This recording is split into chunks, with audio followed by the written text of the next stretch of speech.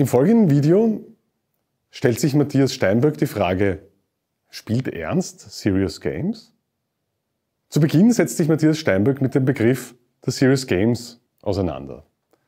Dieser Begriff scheint ja durchaus gegensätzlich zu sein und anhand einiger Beispiele stellt Matthias Steinberg fest, Spiele müssen nicht immer unterhalten und Spiele können manchmal Wissen vermitteln. Und die Widersprüchlichkeit aus Ernst und Unterhaltung macht Serious Games aus. Welche Spiele kennen Sie? Und waren diese immer unterhaltsam? Oder haben Sie vielleicht sogar schon ernste Spiele gespielt? Hi, mein Name ist Matthias Steinböck. In diesem MOOC trete ich als Computerspieleforscher auf. Arbeiten tue ich am Zentrum für Lehrerinnenbildung in der Arbeitsgruppe Digitalisierung im Bildungsbereich. Mit Computerspielen beschäftige ich mich seit meiner Kindheit. Ernsthaft zum Leidwesen meiner Eltern, die Computerspiele verweigern, erst seit 2018 im Unterrichtskontext. Im folgenden Vortrag geht es um Serious Games, ernsthafte Spiele. Ein neues, altes Phänomen. Der Begriff Serious Game ist meiner Meinung nach ein Oxymoron. Ein Oxymoron ist die Zusammenstellung zweier sich widersprechender Begriffe. Damit will ich andeuten, dass es in den meisten Serious Games um vorgeblich Widersprüchliches geht. Diesen Vortrag möchte ich in zwei große Themen teilen. Im ersten Teil möchte ich einen Umriss des Phänomens Serious Games aus meiner Perspektive anbieten. Im zweiten Teil möchte ich Beispiele dafür präsentieren, um was es in Serious Games geht oder gehen kann. Beginnen wir also mit der Historie des Oxymorons Serious Games. Ich folge dabei Chauti, Alvarez, Gessel und Rampnous Recherche aus 2011. Ein häufig erwähntes Beispiel ist Clark Abts 1970 veröffentlichtes Buch Serious Games. Der 1937 aus Deutschland migrierte Lehrer und Forscher hat das Spiel Temper entwickelt. Es ist ein militärisches Lernspiel über den Kalten Krieg. Er unterscheidet dabei Casual Play und Serious Play. Es ist ihm darum gegangen, einen expliziten, durchdachten Ausbildungszweck vorauszusetzen. Aufgrund der großen Aufmerksamkeit um dieses Buch wäre es denkbar, Serious Games hätten einen militärischen Ursprung. Allerdings ist der Begriff älter als Epps Buch. In der Literatur wird der Begriff weit über Brett, Karten oder Computerspiele hinausgehend gefasst. Bereits Neoplatonisten haben leichtherzigen Humor zu ernsten Themen als Serio Ludere beschrieben. 1912 ist die skandinavische Novelle mit dem übersetzt deutschen Titel Das ernste Spiel erschienen. Die Novelle behandelt das Thema des Betrügens im Zusammenhang mit Ehebruch. Und ungefähr zeitgleich zu Abts Buch ist 1973 das Buch The New Alexandria Simulation A Serious Game of State and Local Politics erschienen. Dieses Buch soll die grundlegenden politischen Mechaniken der USA vermitteln. In den Ursprüngen des Begriffs ist es also nicht vordergründig um Militärisches gegangen, aber mit Abt auch darum. Kommt einfach darauf an, was Sie als Ursprung betrachten. Wir verlassen die Literatur und kehren zurück zu digitalen Serious Games. Chao Ti hat analysiert, dass die späteren, also die zwischen 1980 und 2009 veröffentlichten Serious Games, hauptsächlich im Bildungs- und Werbebereich entstanden sind. Chao Ti argumentiert, dass der dominante Fokus auf Unterhaltung bei Spielen und Spieleplattformen den Begriff Serious Game als Gegendarstellung heute attraktiv macht. Es gibt ja den Stereotyp, Spielen macht Spaß. Deshalb ist es attraktiv, bei der Distribution eines Series Games eine andere Intention vorzugeben, als einen möglichst hohen Umsatz zu erzielen.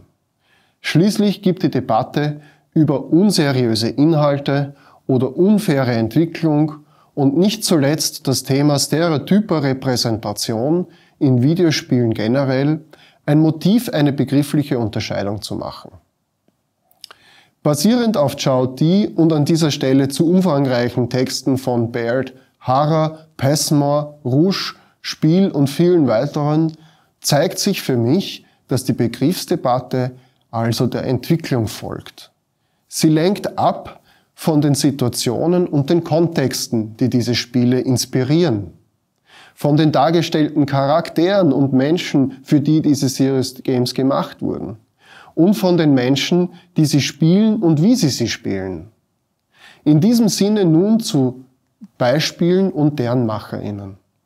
Vielleicht wollen Sie die Spiele jeweils vorher ausprobieren, bevor Sie weiter zusehen. Kommt einfach darauf an, was Sie als ernsthafte Auseinandersetzung betrachten.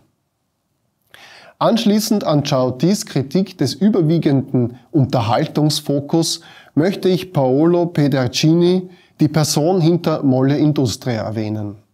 Molle Industria ist ein Game Design Studio mit dem Untertitel Radical Games Against the Tyranny of Entertainment. Frei übersetzt, radikale Spiele gegen die Tyrannei der Unterhaltung.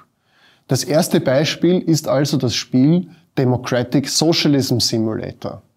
Das von der Mechanik her Tinder-ähnliche Spiel fordert Spielende auf, politische Agenden entweder zu verwerfen oder umzusetzen. Es macht die Auswirkungen auf im Spiel dargestellte virtuelle WählerInnen oder das Ausmaß an Kontrolle über den US-Kongress erfahrbar. Es ist ein Beispiel für ein Serious Game mit explizitem Politikbezug. Anfangs hat Paolo Pedercini Adobe Flash Original Macromedia Flash zur Umsetzung seiner Spiele genutzt. Dieses Spiel hat er mit Unity umgesetzt. Durch das langsame Sterben der Flash-Technologie sind die meisten Spiele heute nicht mehr spielbar. Und in der Internet-Folklore wird erzählt, Flash sei durch Steve Jobs Artikel Thoughts on Flash aus 2010 abgesägt worden. Jobs war damals motiviert, seinen recht neuen App Store attraktiv zu machen. Adobe hat die Umsetzung plattformkapitalistischer Ziele von Apple schwierig gemacht. Tatsächlich hat die Technologie Flash im Webbrowser 2021 ein Ende gefunden. Flash-Inhalte zeigen nun eine Meldung mit einer URL zur End-of-Life-Nachricht von Adobe. Um bei der Technologie Flash zu bleiben, jedoch das Beispiel zu wechseln nun zum Spiel Elude. Dabei geht es um die Natur des Menschen, im Speziellen um Depression. Doris Rouge, Autorin des Buchs Making Deep Games und Professorin an der Universität Uppsala, hat das Spiel Elude gestaltet. Das Spiel setzt auf räumliche Metaphern, um Erfahrungen von Depression zu kommunizieren.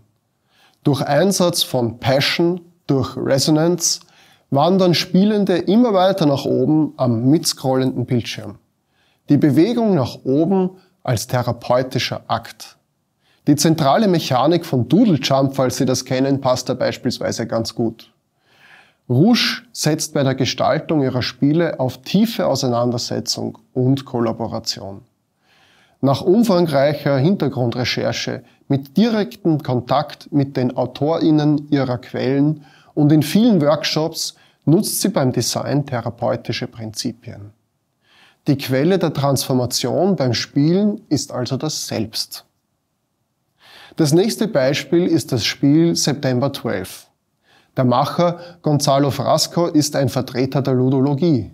Ludologie ist schnell gesagt eine methodische Perspektive innerhalb der Game Studies, welche die pure narrative Betrachtung von Computerspielen erweitert. Er kritisiert in seiner Masterarbeit Video Games of the Oppressed neben vielen spannenden Fragen zu Serious Games auch die Einfältigkeit vieler Spiele, nur eine Lösung für ein gestelltes Problem erfahrbar zu machen. Diese Einfältigkeit macht es umgekehrt möglich, einzelne Aspekte komplexer Zusammenhänge direkt erfahrbar zu machen, wie er es in seinem Spiel September 12 zeigt. Das Spiel bearbeitet das Argument, dass eine direkte militärische Intervention auf die Ereignisse des 11. September 2001 das Risiko weiterer terroristischer Attacken steigern würde. In dem Spiel sind die Spielenden aufgefordert, Menschen, die wie Terroristen aussehen, mittels Drohnen, dargestellt durch ein Fadenkreuz, ferngesteuert zu töten. Das letzte Beispiel ist Franbo. Gemacht wurde es von Natalia Figueroa und Isaac Martinson. Finanziert wurde es über die Crowdfunding-Plattform Indiegogo. Das gruselige Point-and-Click-Adventure versetzt Spielende in die Situation von Fran, einem zehnjährigen Mädchen, das mit dem Tod ihrer Eltern zu kämpfen hat und deshalb in eine Nervenheilanstalt kommt. Mr. Midnight, eine schwarze Katze, begleitet sie zunächst. Eine ungewollte Trennung bringt Fran jedoch auf eine Reise, die schmerzhaft, blutig, aber auch süß ist. Minigames können übersprungen werden, um der Geschichte besser folgen zu können. Im Spiel zwingen Ärzte Fran zur Einnahme von Medikamenten. Klinisch-pathologische Ansätze zum Umgang mit Frans Situation werden dadurch thematisiert. Die Annahme, dass Süßes und Schmerzhaftes in einem Computerspiel nicht zusammenpasst, ist der Grund, warum ich es in diesem Vortrag erwähne, da wir vom widersprüchlichen Charakter des Begriffs Serious Game ausgegangen sind. Damit haben wir etwas zum Begriff Serious Games gehört und kurz Beispiele kennengelernt. Ich habe noch ein wenig weiterführendes Material hier im Vortrag erwähnt und angeführt. Ich hoffe, ich konnte Ihnen etwas Neues über Serious Games erzählen und wünsche Ihnen noch viel Freude beim weiteren Teilnahme am MOOC.